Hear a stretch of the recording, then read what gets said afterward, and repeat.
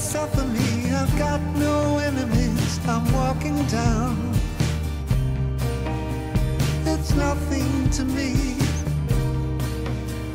It's nothing to see. If I'll never see the English evergreens I'm running to,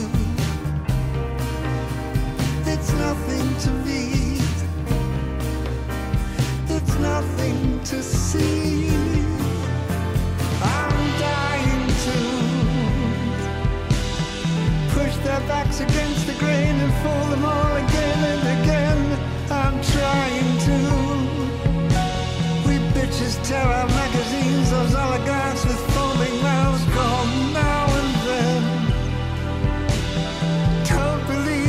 Just one second I'm forgetting you. I'm trying to. I'm dying to. Dollar days, survival sex, honor stretching tails to necks. I'm falling down. It's nothing to me. It's nothing to see.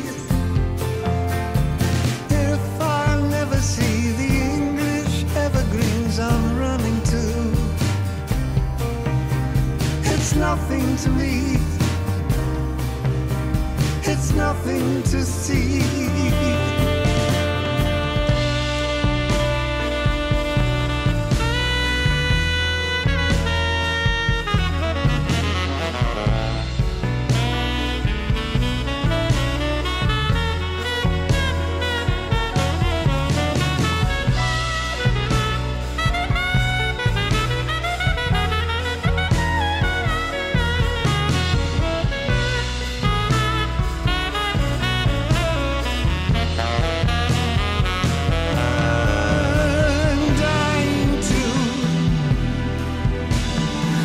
Their backs against the grain and fool them all again and again.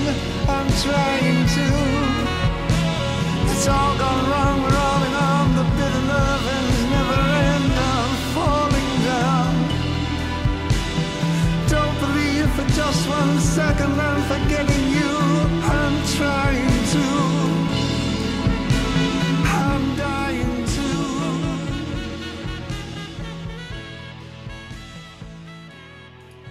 What is it? It's it. But what is it? The song is Dollar Days off of Bowie's Black Star album. An album I had a hard time really digging into. And now that I have, this might be my favorite one on the album. Maybe. It kind of there's only 7 songs on it, but it kind of shuffles. And this one I, I think is just great. Love that uh insanity trumpet. Uh, uh, That's a sax, but insanity sax. Oh man, just as I raise the volume, the insanity sax goes away. My friends and I were listening to it, and we couldn't help but note that the saxophonist is that is that what they're called? Was just going fucking ape shit on the sax, and it's just great. It's really good. Anyway, I want to I want I want to tell you that we've got some garbage tonight. We're gonna start with um, something really interesting, something that was unexpected, um, yet very very cool.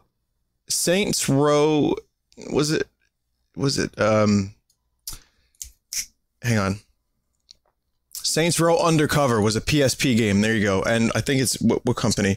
Volition released an unfinished game for people to download and play. And yeah, he he found it. He was just like, I'm gonna just release it.